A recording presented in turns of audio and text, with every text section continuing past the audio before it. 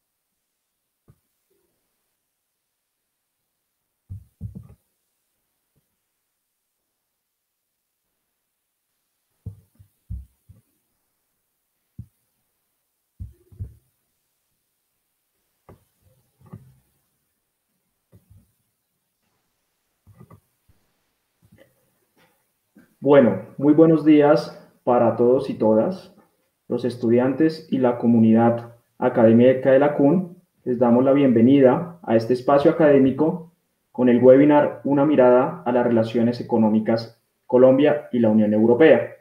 El día de hoy vamos a tener un invitado especial, que es el doctor Felipe García, quien es el embajador de Colombia ante la ONU, quien es el embajador de Colombia ante el Reino de Bélgica, ante el Gran Ducado de Luxemburgo y el jefe de la misión ante la Unión Europea y la OTAN.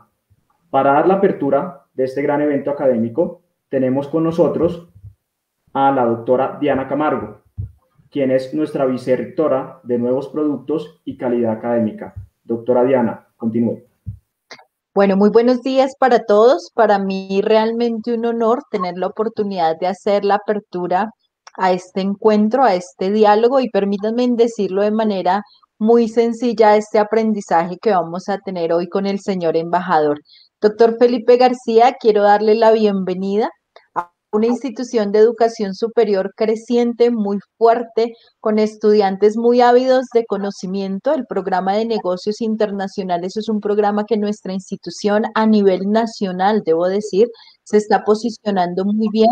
Yo creo que es por la conciencia que tenemos de tener definitivamente un aprendizaje claro en todo lo que tiene que ver con las relaciones internacionales. Quiero saludar a todos nuestros estudiantes, siempre un orgullo poder estar con ustedes, no solo en este evento, sino compartiendo en diferentes momentos a nuestros docentes, que sé que también nos acompañan, saludarlos y por supuesto a todo el equipo administrativo que hace posible esto este encuentro. Quiero simplemente resaltar y darle las gracias al doctor Felipe por tener este tiempo y este espacio. No es fácil realmente que un embajador tenga una agenda para disponerse a orientar a estudiantes, acompañarlo, y creo que eso es lo que nos hace también fuerte en ese conocimiento de las relaciones internacionales. A veces nos quedamos cortos en lo que leemos y realmente es mucho lo que se debe abarcar, la profundidad que se tiene y todo el ejercicio que viene desarrollando Colombia con la Unión Europea nos permite también mirar todas las oportunidades que nosotros tenemos. Ustedes, a los estudiantes, les digo, como futuros egresados, si algo debemos conocer es todas esas oportunidades, los diferentes procesos que se realizan cuando se trabaja en una embajada y cuando se busca tener unas relaciones internacionales adecuadas. Eh, creo que Colombia se ha venido posicionando muy bien ante la Unión Europea. Creo que tenemos muchísimas oportunidades en los diferentes eh, sectores de la economía y creo que en este momento somos llamados a aprender y a seguir, eh, digamos que fomentando todo lo que tiene que ver con estos procesos. Yo no quiero alargarme porque realmente quiero decirles a todos nuestros estudiantes, nuestros docentes, aprovechemos hoy este espacio que el señor embajador nos ha querido regalar para conocer, aprender, para que puedan preguntarle. Yo le yo, doctor Felipe, siempre incito a los estudiantes a que tengan esa oportunidad de preguntar, de, porque son pocos los espacios, pero muy valiosos cuando uno tiene la oportunidad de hablar del tema, pero por supuesto, con un embajador que nos pueda orientar muchísimo. Solamente me queda decirle, doctor Felipe, bienvenido a su casa. La CUN es una institución de educación superior que trabaja fuertemente en diferentes programas y esta es su casa. Siempre siéntase así y estoy seguro que, que va a quedar encantado también de este rato de aportarle a los estudiantes. Muchísimas gracias y a todos bienvenidos a este evento.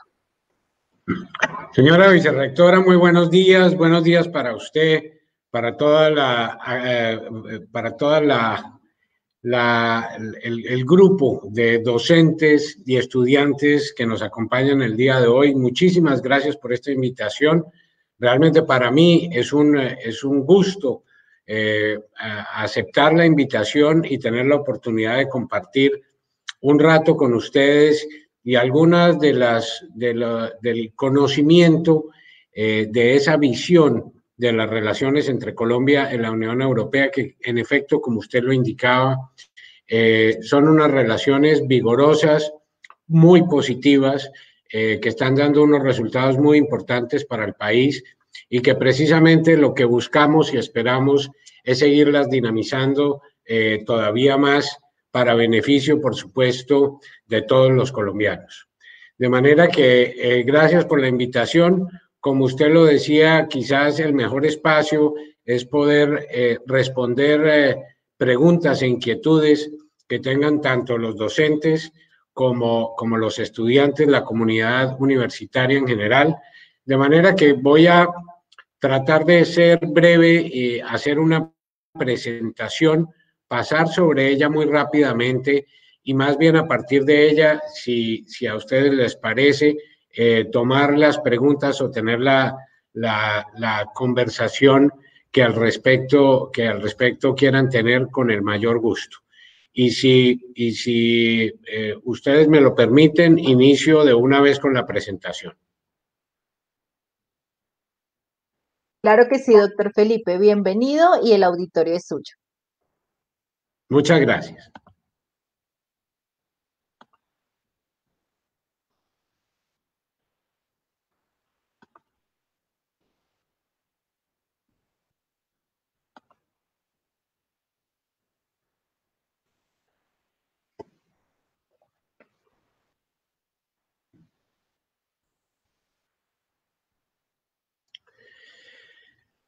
Empiezo por eh, referirme a la Unión Europea y qué es la Unión Europea. Esto fundamentalmente porque muchas veces eh, confundimos conceptos como Europa, Unión Europea, lo que antiguamente se conocía como la Comunidad Económica Europea. La Unión Europea es la unión de 27 estados, 27 países, todos ellos, por supuesto, ubicados en Europa, que en su conjunto están compuestos por 447 millones de habitantes.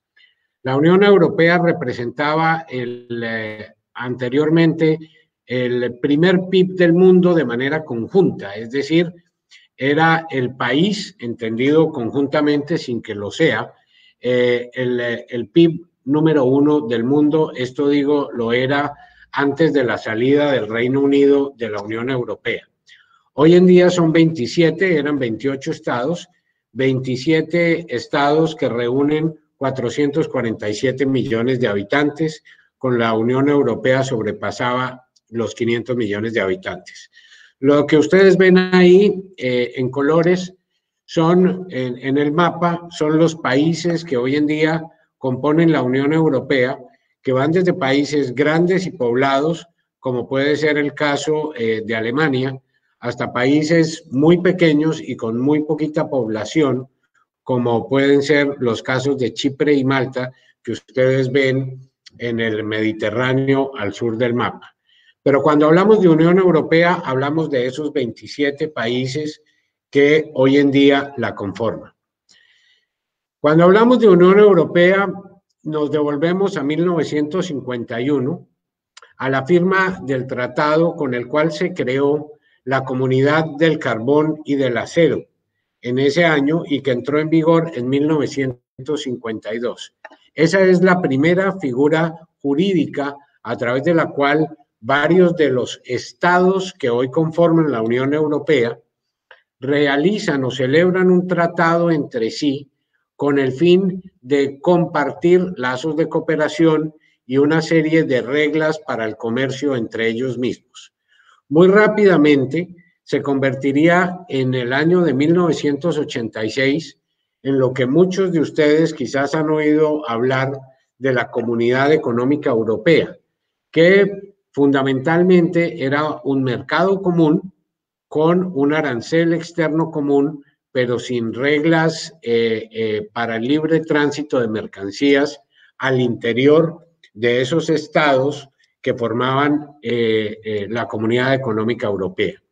Esto fue evolucionando hasta el último de los tratados con los cuales hoy en día se conoce la Unión Europea, que es el Tratado de Lisboa del año 2009, Posterior a eso entraría el último de los, de los 27 estados, en ese momento 28, que era Croacia, y desde entonces y después de la salida del Reino Unido en el año 2020, como consecuencia del Brexit, la componen estos 27 estados.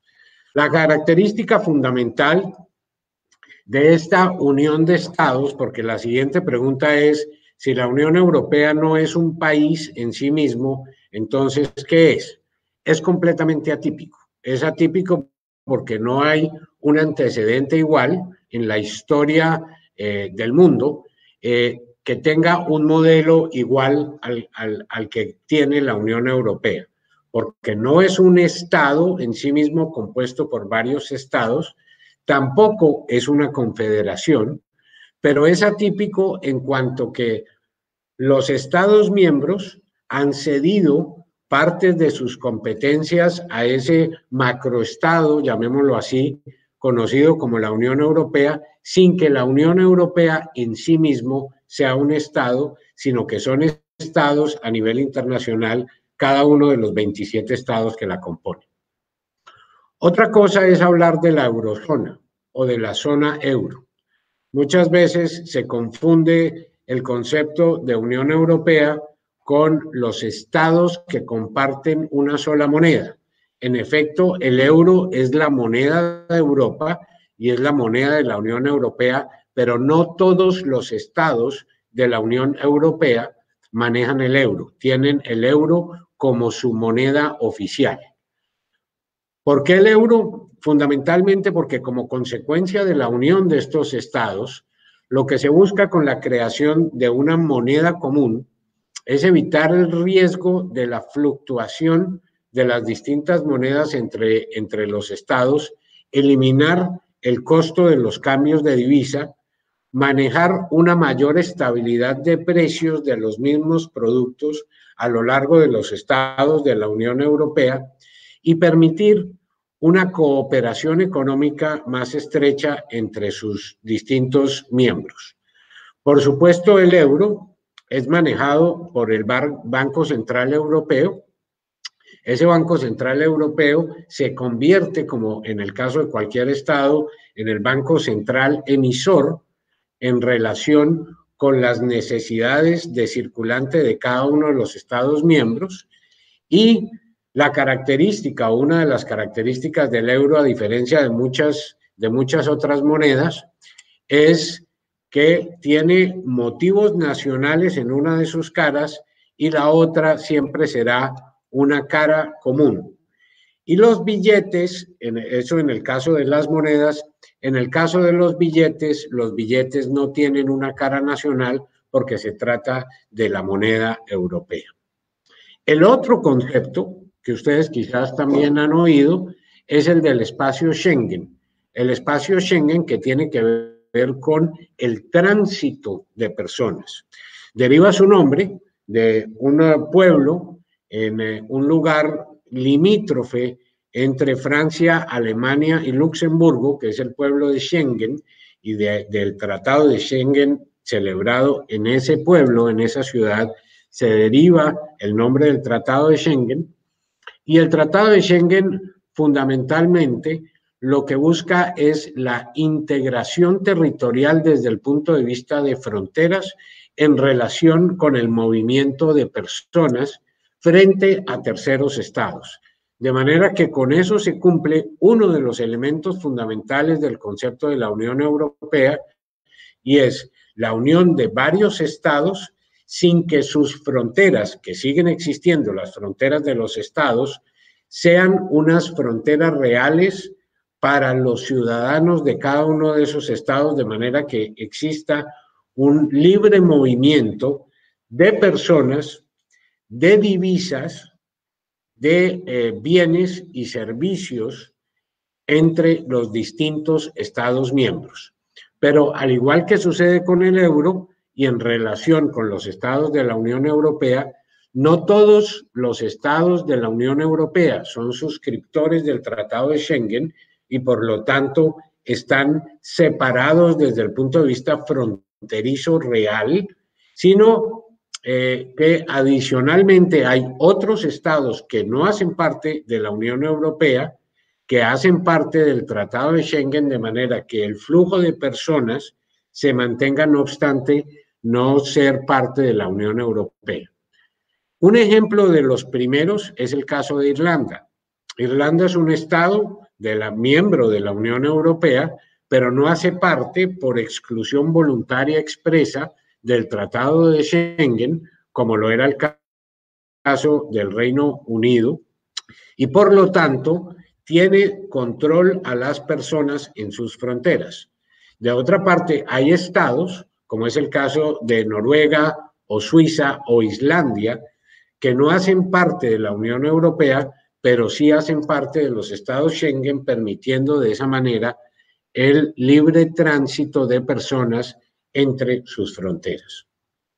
Las instituciones de la Unión Europea, como pueden ver eh, eh, ustedes en, eh, en, la presentación que estamos viendo en este momento, se parece mucho a las distintas instituciones que podemos ver en un país democrático, con una separación clara de poderes y con sistemas de elección de sus representantes muy distintos.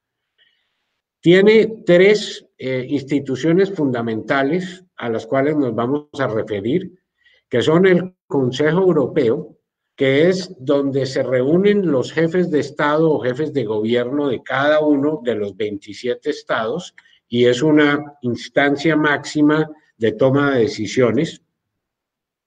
El Consejo de la Unión Europea, que es exactamente lo mismo, pero con distintas formaciones de los ministros representantes de los Estados miembros en cada uno, en cada uno de, los, de, los temas relevantes. Así, por ejemplo, si se trata de un tema de hacienda pública o tributación, pues reúne a los ministros de Hacienda de los 27 Estados miembros para tomar decisiones que afectan a toda la Unión Europea.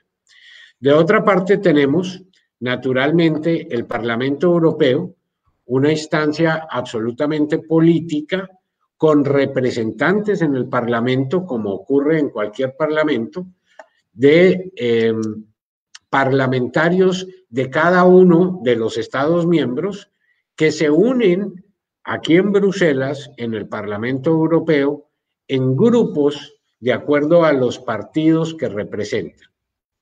Y la Comisión Europea la Comisión Europea es quizás el órgano ejecutivo por excelencia, donde también están representados todos los estados a través de los comisarios.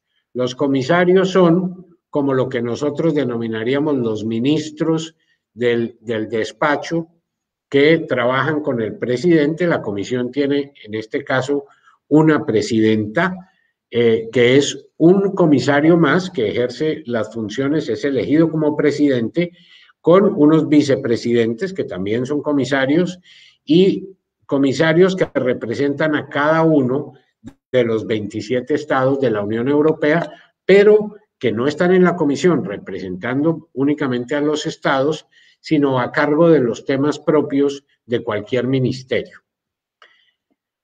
Esta, esta, que, esta eh, eh, lámina que ustedes ven acá tiene a las tres personas que ocupan la presidencia de cada una de esas tres instituciones europeas. De una parte, el presidente del Parlamento Europeo, que es David Sassoli, italiano, representante del Partido Socialista, el Consejo de Europeo, eh, cuyo presidente es Charles Michel, que es belga y que pertenece al partido Renew, que es eh, el mismo partido, por ejemplo, en Francia del presidente Macron o Ciudadanos en el caso de España, y la Comisión Europea, que la preside la señora Ursula von der Leyen, que es la presidenta de la Comisión. En primer lugar, eh, algunas características del Parlamento Europeo. Representa a los ciudadanos de la Unión Europea, es elegido directamente por elecciones que se presentan en cada uno de los Estados miembros para periodos de cinco años. Hoy en día está conformada por 705 eurodiputados de los 27 estados elegidos directamente pero agrupados en siete grupos políticos.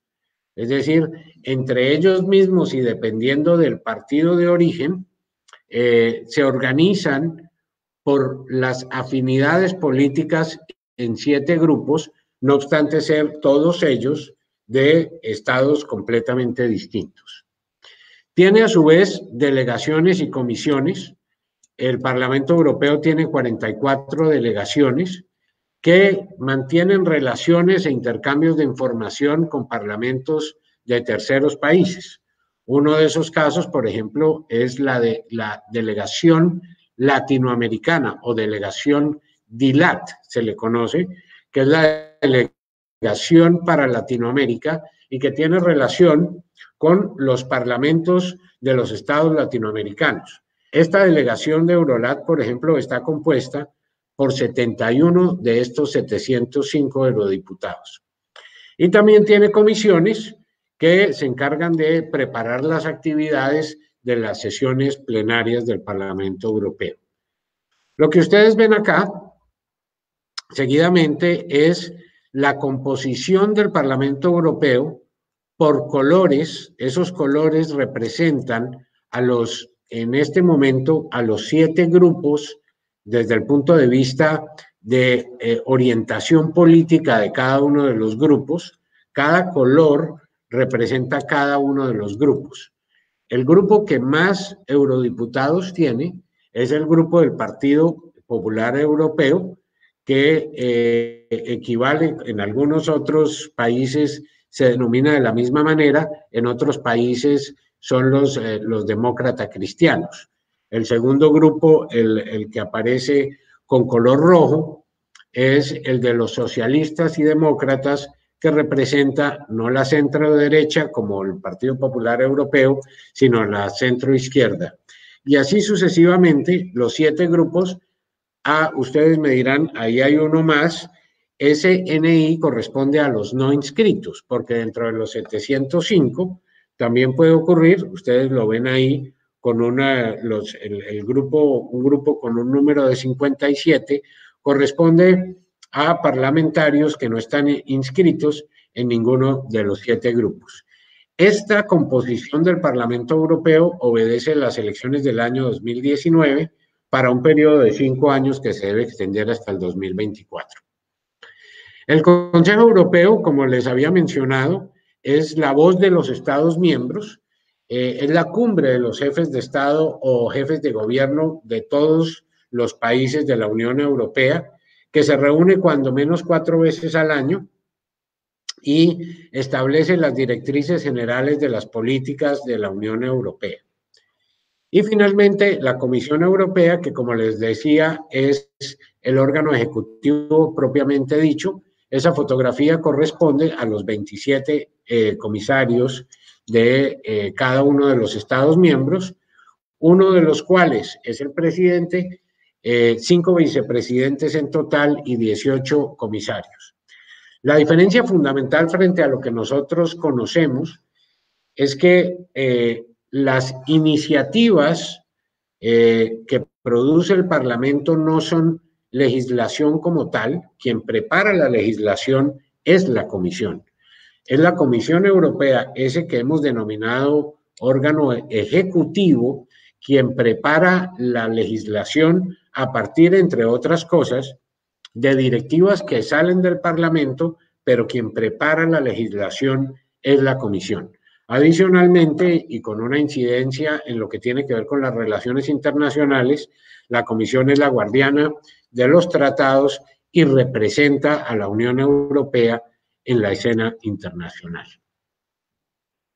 Pasando a un tema que es más amable para ustedes, eh, que tiene que ver con el mercado de la Unión Europea y la importancia del mercado de la Unión Europea para Colombia.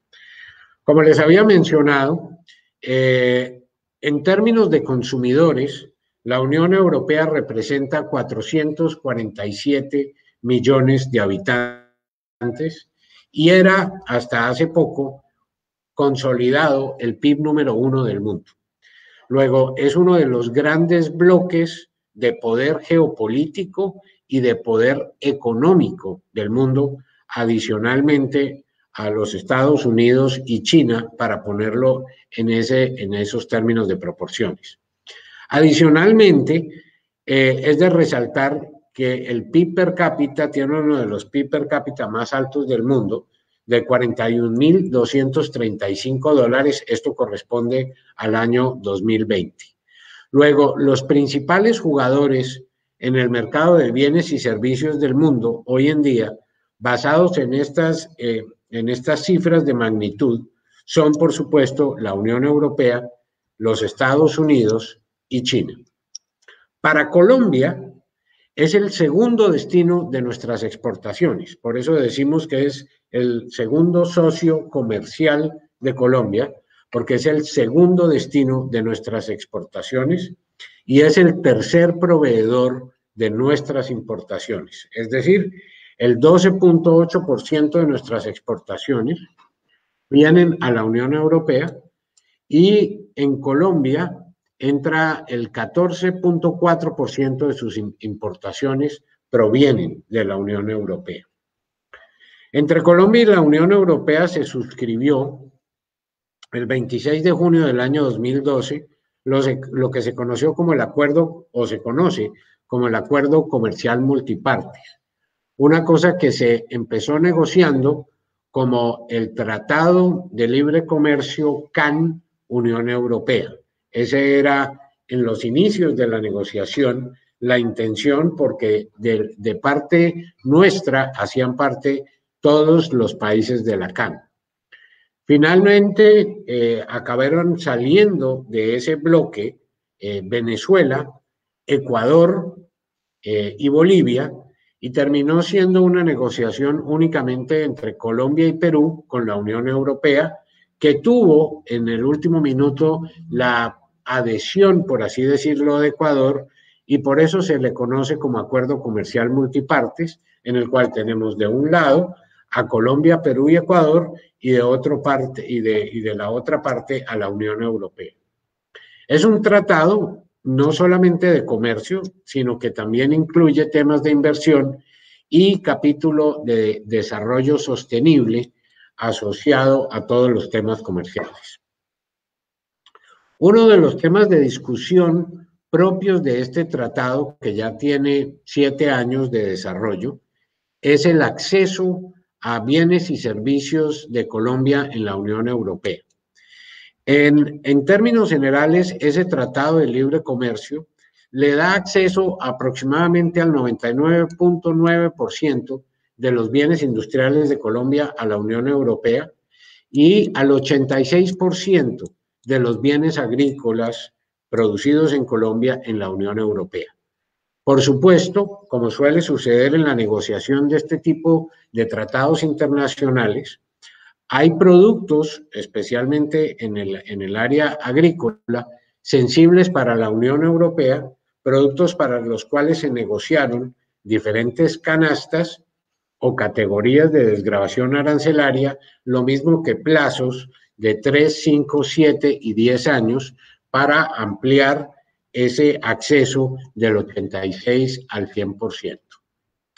Este acuerdo comercial multipartes que incluye comercio, inversión y turismo, eh, me parece de la mayor importancia presentarles esto un poco para que ustedes conozcan la dimensión de lo que representa el tratado.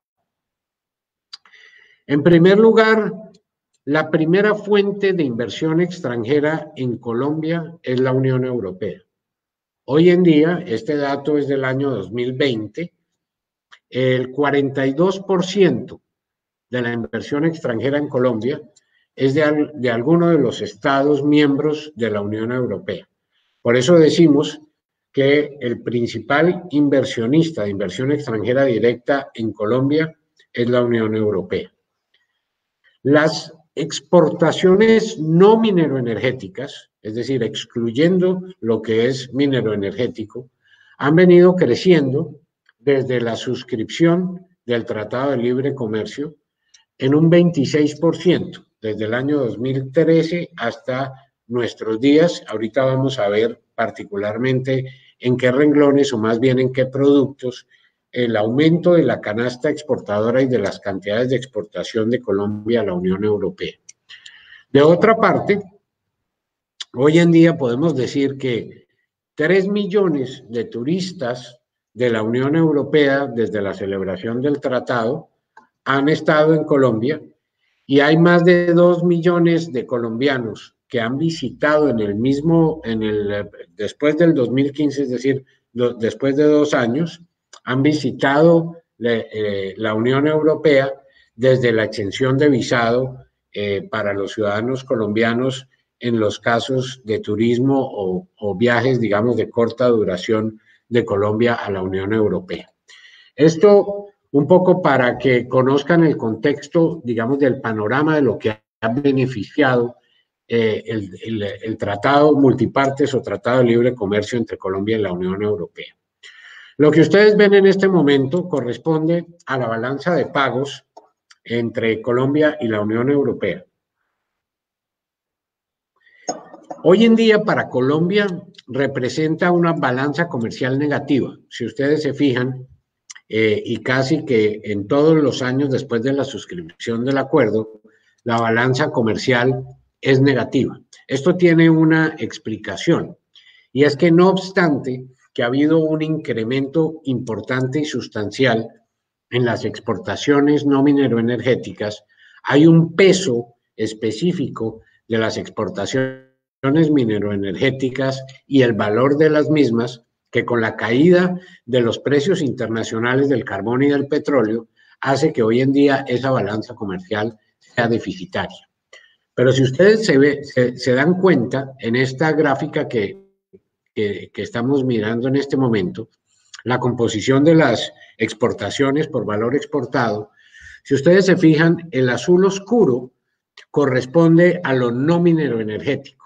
Y si ustedes se fijan, eh, ha venido incrementándose el azul oscuro en relación con el azul más clarito, que es lo minero energético.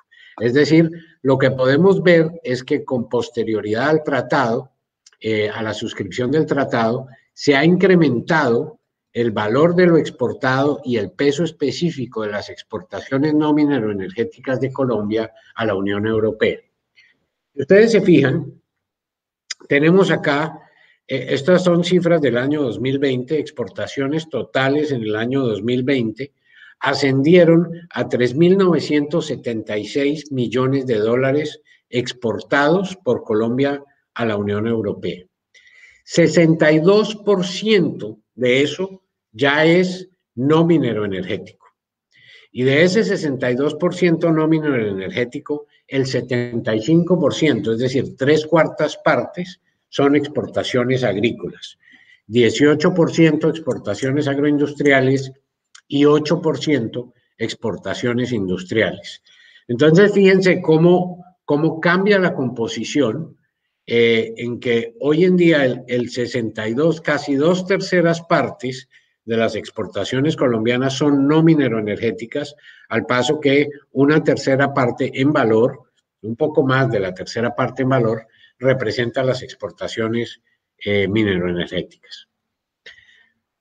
A la derecha, dentro de ese 75% de las exportaciones agrícolas, esto es un poco para mostrar cuál es el peso de esas exportaciones agrícolas, el 80% está compuesto por banano, aguacate y frutas exóticas, eh, que representa el 80% de la totalidad de, la exportación de banano, aguacate y frutas exóticas, eh, del total de las exportaciones de Colombia en esos tres productos es para la Unión Europea. El 60% del aceite de palma, el 30% de las exportaciones de café y el 10% de las flores colombianas son los que componen ese, eh, o mayormente, ese 75% de exportaciones agrícolas.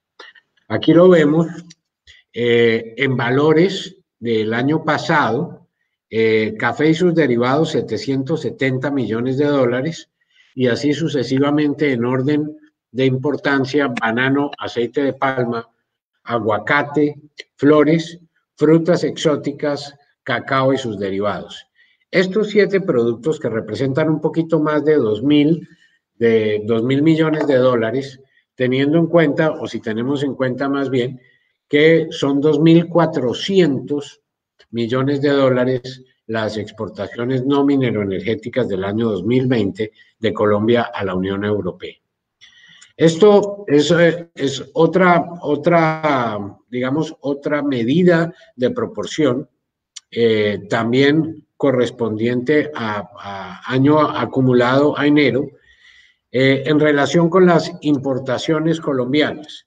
Las importaciones colombianas de, bienes de capital y materias eh, primas de la Unión Europea alcanzaron una participación del 70%, superior a la, a la misma observada eh, del año anterior, que fue del 67%.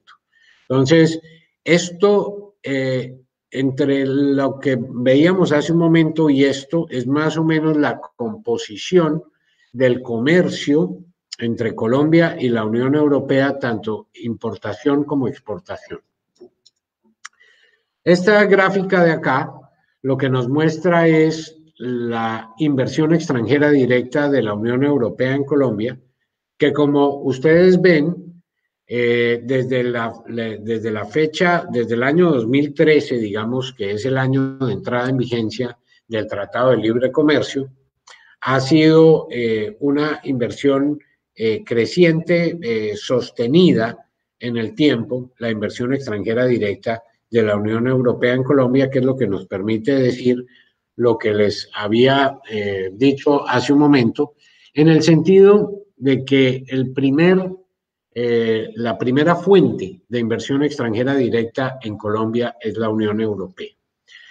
Y ya para terminar, quisiera hacerles, eh, hablarles muy brevemente de eh, el Pacto Verde Europeo, que es uno de los ejes de la política de la Unión Europea en este momento y en estos, digamos, en estos cinco años de mandato de esta comisión y de este Parlamento Europeo que asumió a finales del año 2019 y del cual tanto se habla que es el Pacto Verde Europeo. Yo quisiera pedirles el favor, como se trata de un video por el sonido, voy a dejar de compartir y quisiera pedirles el favor de que ustedes lo hagan en Bogotá y después retomo con la, con la presentación yo.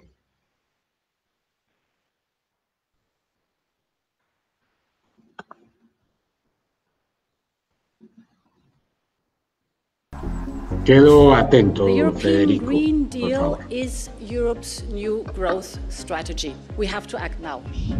The European Commission has prepared three concrete actions that will offer a strong basis for the New Deal. I want Europe to become the first climate neutral continent in the world by 2050. Real benefits include zero pollution, affordable and secure energy, smarter transport, and high quality food.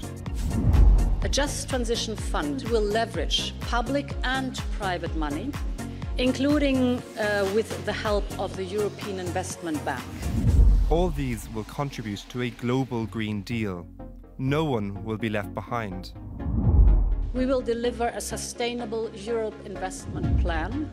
Our 1 trillion euro of investment would give investors confidence to make long term decisions on environmentally responsible projects. This will mean new jobs, a cleaner environment, and a better quality of life for people. We Europeans are ready.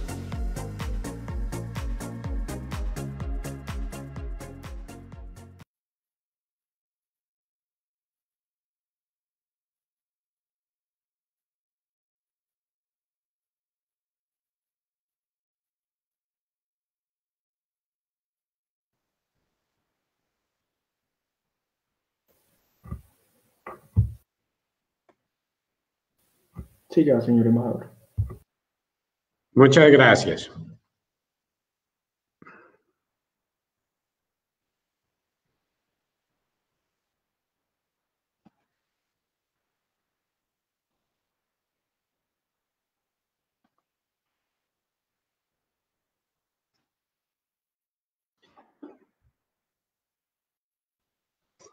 Lo que, lo que ustedes acaban de ver en eh, algo más de un minuto es una presentación general de lo que es el Pacto Verde Europeo, que como les decía es uno de los dos ejes de estos cinco años eh, de, la Comisión y el Parlamento Europeo actual, y que representa, digamos, eh, el, futuro de la inversión europea, de los negocios europeos y el concepto de los negocios verdes. Lo que nosotros hemos, hemos venido sosteniendo es que el Pacto Colombiano por la Sostenibilidad eh, y el Pacto Verde Europeo eh, tienen muchas eh, similitudes y hay un paralelismo muy importante que nos permite eh, de alguna manera decir que eh, estamos identificados en lo que estamos viendo en el futuro para el año 2030 y para el año 2050 para las generaciones por venir en relación con el papel de la sostenibilidad en los negocios del mundo. Eh, a, manera de conclusión, eh, quisiera terminar eh, planteando estos seis puntos que ustedes ven ahí y referirme cuando hablamos aquí del acuerdo, por supuesto estamos hablando es de el acuerdo de libre comercio.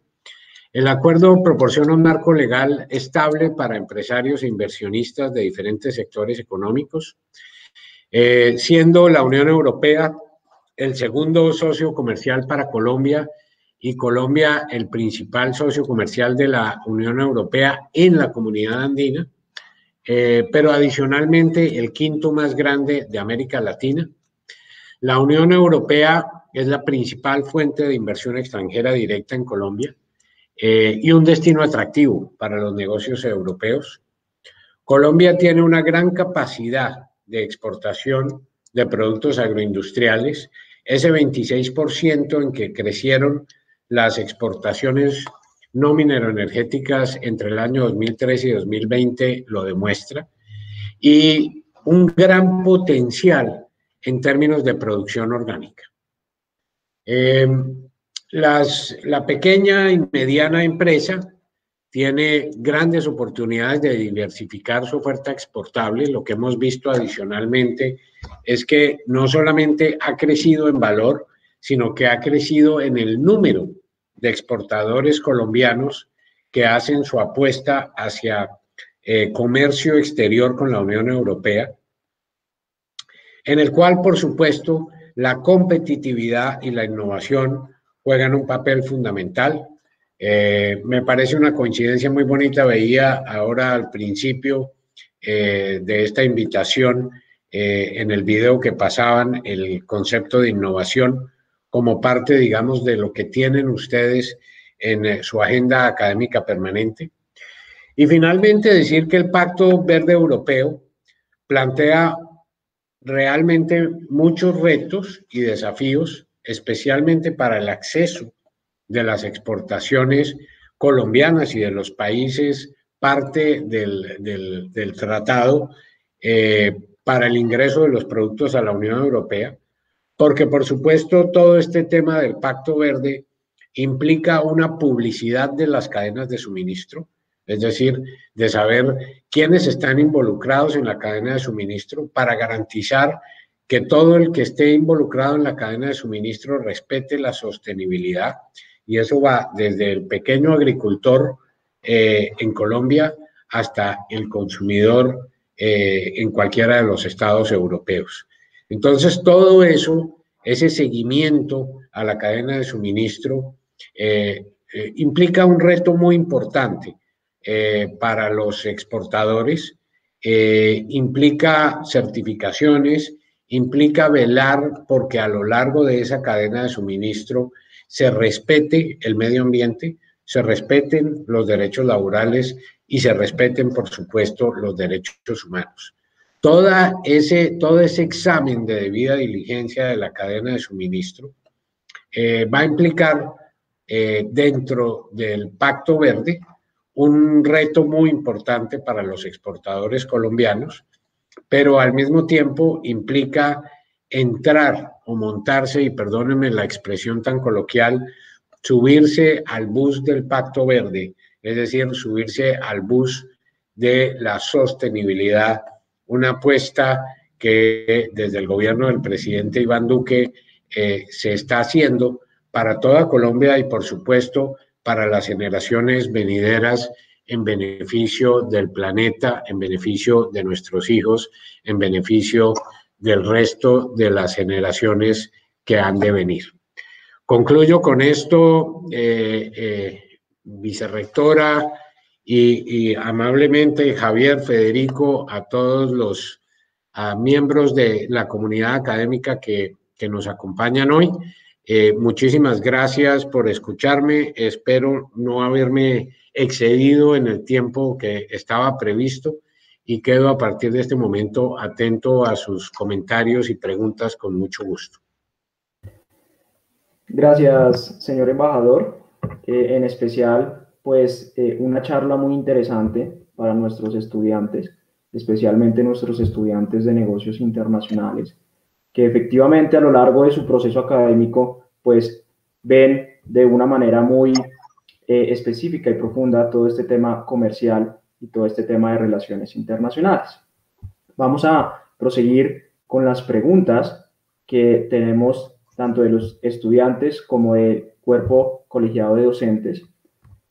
Y creo que una fundamental sería, muy sucintamente, señor embajador, poder entender qué es lo que hace una embajada, qué es lo que hace la embajada que usted eh, en este momento preside eh, frente a la Unión Europea. ¿Cuáles son sus funciones? El año pasado nosotros tuvimos eh, al señor cónsul de Miami, de Colombia en Miami, y nos explicaba pues un poco las funciones de los consulados y pues sería importante ver cuáles son las diferencias que tienen, digamos, con las funciones de las embajadas. Perfecto, pues bueno, eh, muy brevemente, la, la, representación diplomática que hacen las embajadas es la representación del gobierno del país que los manda frente a los estados o a las organizaciones de terceros países, es decir, otros países u otras organizaciones internacionales.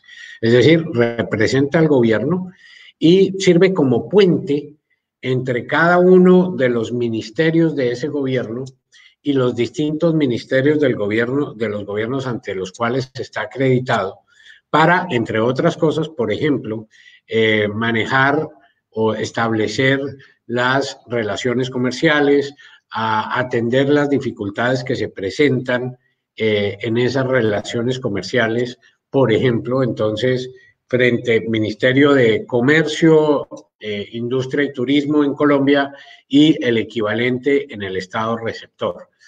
La diferencia fundamental es que los consulados, como ustedes lo debieron haber visto, eh, es esa representación del Estado que está en otro Estado para atender las necesidades y los temas propios de sus connacionales. Es decir, el Consulado General de Colombia aquí en Bruselas atiende las necesidades de nuestros connacionales, es decir, de los colombianos que viven aquí en Bruselas y que tienen que hacer trámites con Colombia o en Colombia. al paso que la embajada se encarga de la representación del Estado frente a los organismos del otro Estado, en este caso del Estado belga, porque pues básicamente eh, la, residencia de esta embajada está en, el, en, en Bélgica, pero tiene la característica, esta en particular, de que no está acreditada ante un solo Estado, sino que tiene, como decimos, varios sombreros, varias camisetas. Una, el, el, el, Estado o el Reino de Bélgica, en este caso, eh, el, Gran Ducado de Luxemburgo, que son dos estados, la Unión Europea, que como veíamos no es en sí mismo un Estado, sino es una organización internacional que agrupa varios estados, eh, a 27 estados de hecho, y la Organización del Tratado del Atlántico Norte, que es la OTAN, que tampoco es un Estado, pero en la cual confluyen 30 estados eh, eh, que, hacen parte de la OTAN y que a través de esta embajada tienen en eh, su tiene Colombia su interlocución con esa organización. Luego, en una embajada, se maneja, así como se manejan temas políticos, diplomáticos, de cooperación, se manejan temas comerciales, se manejan temas de defensa y seguridad, se manejan temas de deporte, se manejan temas culturales, es decir, todo el abanico de los temas que interesan a un gobierno frente al otro gobierno, al otro Estado. Muchas gracias, señor embajador, por esa claridad. Eh, específicamente, usted dentro de su exposición nos hablaba pues de todas estas acciones que se han logrado para impulsar pues todo el tema eh, comercial entre Colombia y, y, la Unión Europea. Pero en este momento tenemos algunas acciones que está realizando el gobierno para seguir impulsando, potencializando estas oportunidades comerciales que se puedan ver de pronto en un futuro a corto, mediano, largo plazo. Sí, como les decía en, en la presentación, uno de los temas complejos eh, es el tema de acceso. Eh, ¿Por qué el tema de acceso? Por los requisitos fitosanitarios que tiene la entrada de algunos productos.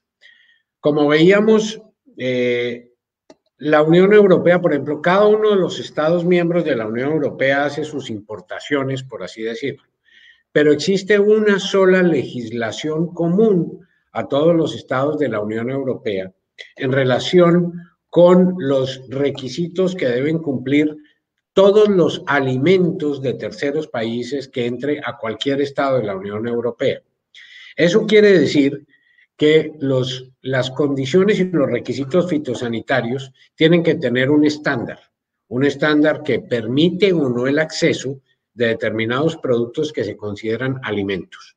Y eso está regulado en Bruselas, que después se convierte en legislación de cada uno de los 27 Estados miembros. Entonces, lo que nosotros, por ejemplo, buscamos en ese campo y que hace parte de nuestro trabajo día a día, es tratar de identificar aquellos obstáculos para el acceso de ciertos productos por condiciones fitosanitarias para, por ejemplo, reemplazar la utilización de ciertos fertilizantes en la producción de algunos productos agropecuarios para que esos productos no vayan a tener problemas de acceso a la Unión Europea por la utilización de esos fertilizantes. Es simplemente un ejemplo.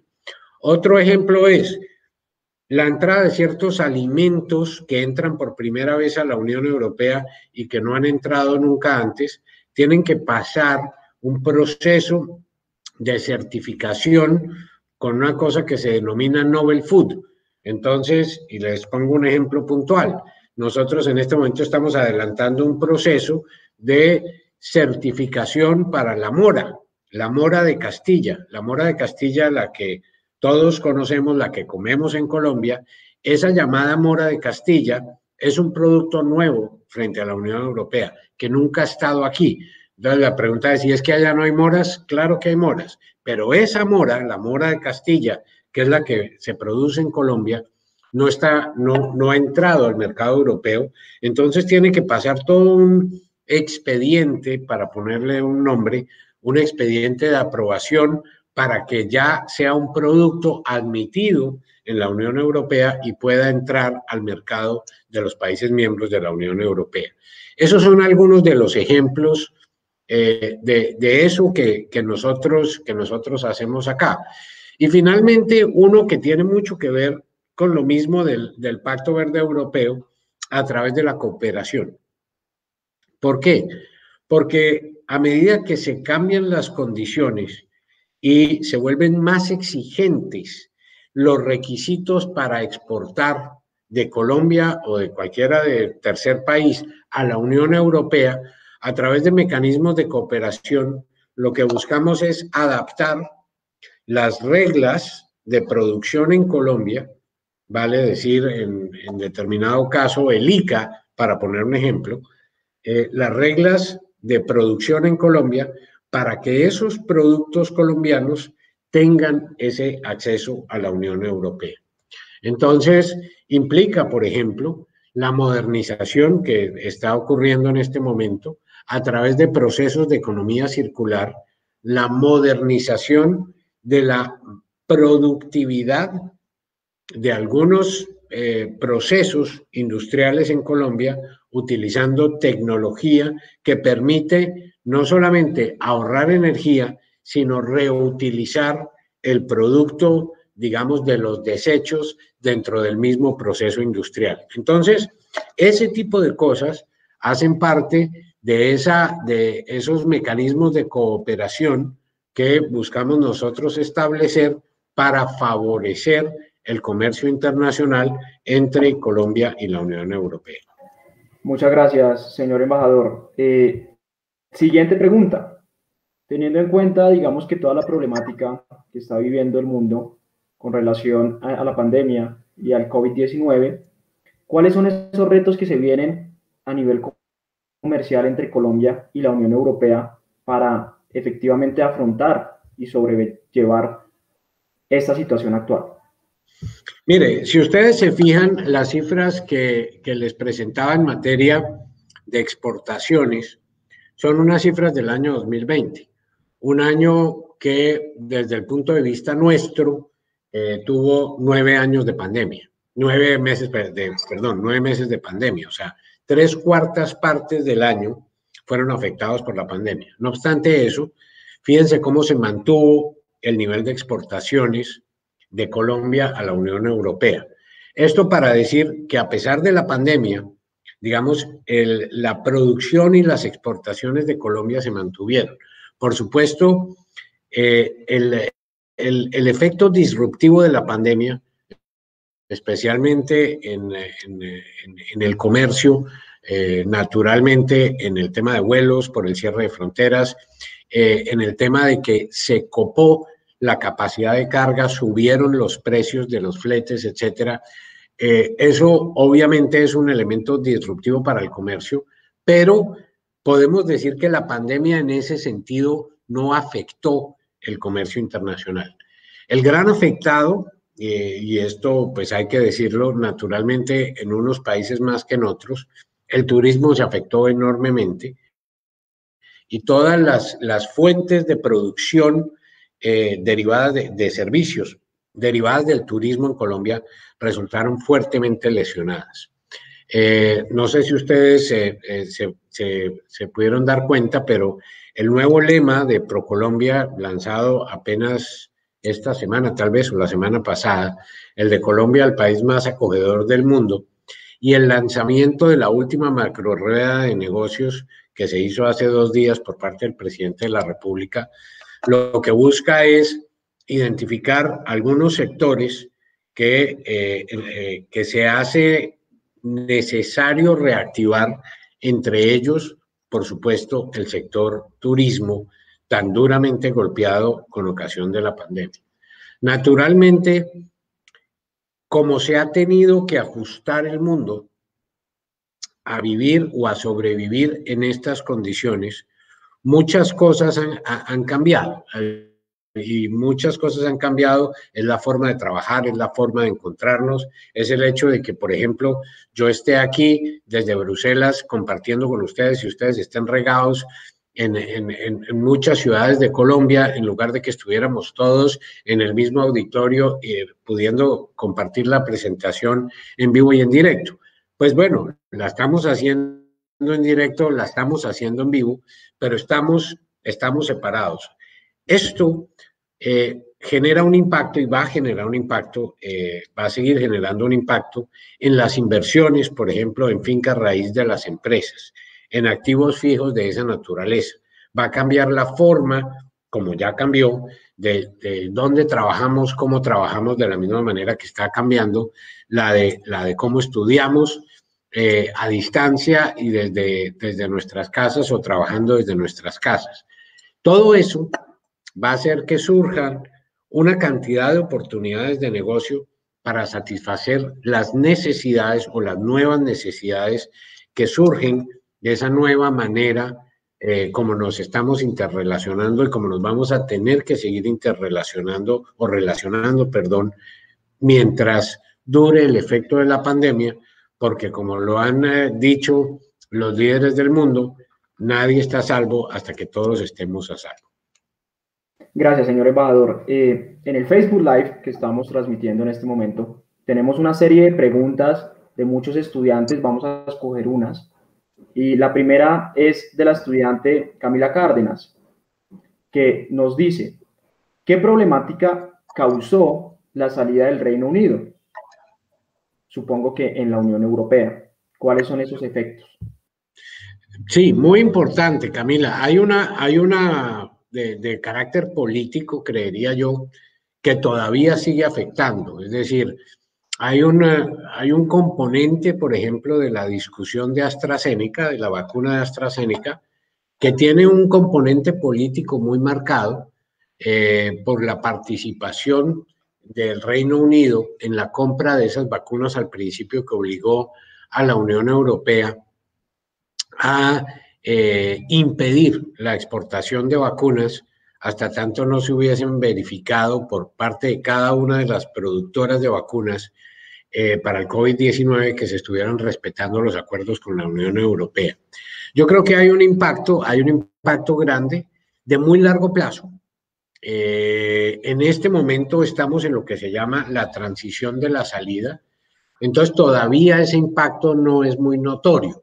Y lo digo, por ejemplo, con cosas tan puntuales como el tráfico en el puerto de Zeebrugge aquí en Bélgica, que era uno de los puertos eh, más activos con, eh, con eh, el Reino Unido, en materia especialmente de, de, de, tráfico de carros, de, en ambos sentidos, por supuesto, producción de carros europeos al Reino Unido y del Reino Unido al, al continente europeo.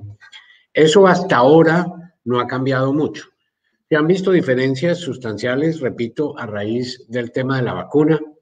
Eh, se ven diferencias también en materia política por en, la frontera, digamos que se levanta eh, como consecuencia del Brexit entre Irlanda e Irlanda del Norte, eh, que, fue, digamos, uno de los puntos de discusión más complejos de la salida eh, de manera que eh, no estamos viendo todavía por la misma transición los efectos económicos de largo plazo que con seguridad se van a presentar. Por supuesto, eh, en esto hay unas, hay, visiones distintas, todas muy respetables, pero la visión europea es juntos somos más juntos somos más fuertes. Es ese, principio general en el cual pues eh, la salida de, de, más de 60 millones de habitantes de la Unión Europea y la capacidad para, para que eso genera desde el punto de vista geopolítico, por ejemplo, en la negociación de tratados de comercio, pues es un impacto. En el caso concreto de Colombia, lo que Colombia hizo y que se adelantó a hacer fue eh, hacer una especie de espejo entre el tratado multipartes que teníamos con la, o que tenemos más bien con la Unión Europea y hacer un, un espejo de eso para tenerlo con el Reino Unido en el momento en el que, finalizado el periodo de la transición, se puedan mantener las mismas ventajas arancelarias que eh, anteriormente se tenían eh, como consecuencia de que eh, el Reino Unido hacía parte de la Unión Europea. Pero sin la más mínima duda las va a tener. Una de las que claramente no tuvo fue la de la moneda, porque el Reino Unido nunca hizo el cambio al Brexit. Entonces, pues la libra siguió siendo y sigue siendo la, la moneda del Reino Unido. Pero, por ejemplo, una de las que sí se han visto y que ha resultado beneficiados otros estados de la Unión Europea han sido temas de desinversión.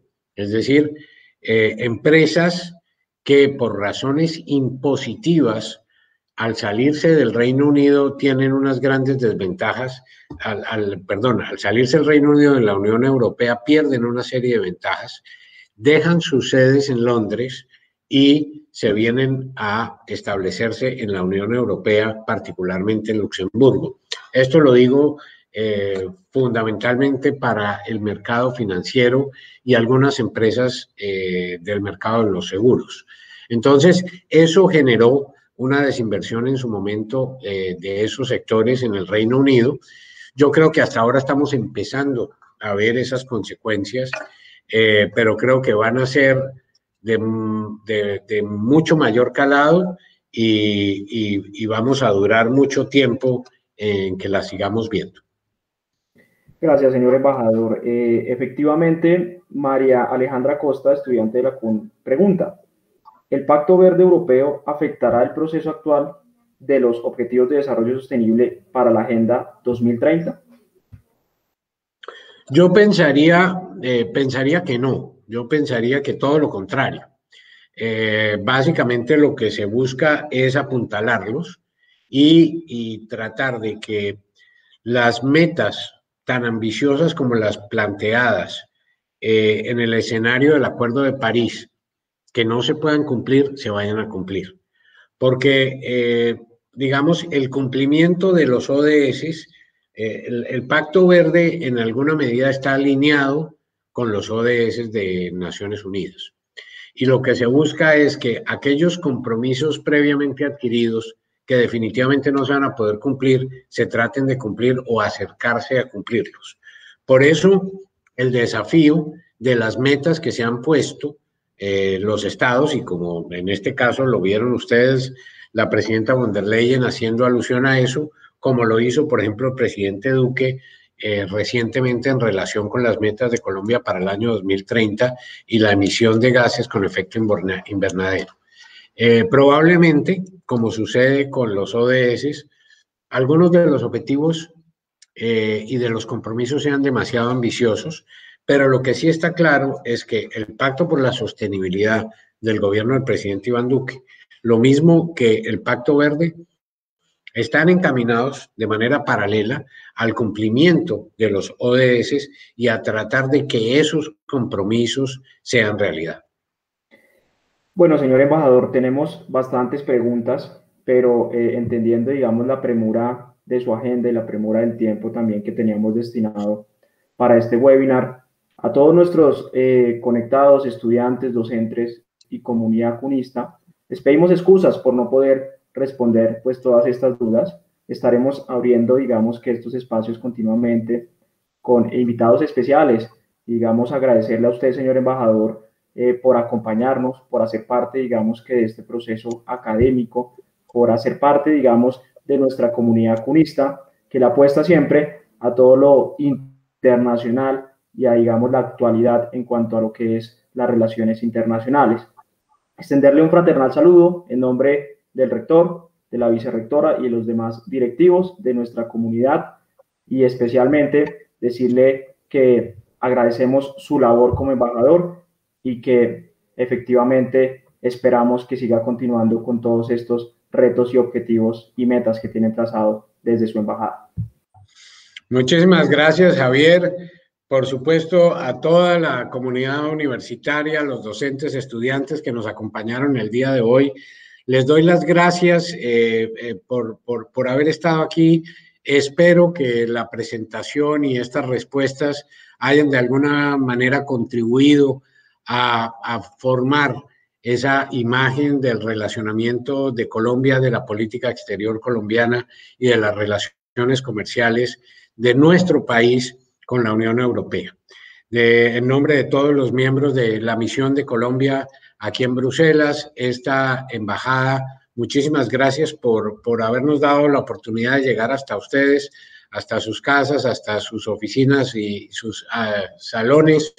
Y, y, lamento, en efecto, pues eh, no haber tenido más, más tiempo para responder sus preguntas, pero reiterarles eh, que ha sido para nosotros un gusto llegar hasta ustedes y que espero, repito, que este espacio, así haya sido eh, cortico, haya contribuido para formar, eh, eh ayudar a, formar esa imagen del relacionamiento con la Unión Europea, que conozcan más y que, y que avivar el interés de ustedes, particularmente en materia de comercio internacional, el interés de ustedes en contribuir con este conocimiento al relacionamiento entre Colombia y la Unión Europea.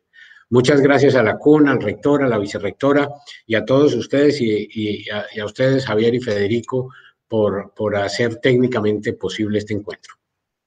Muchas gracias, señor embajador. Un feliz día para todos.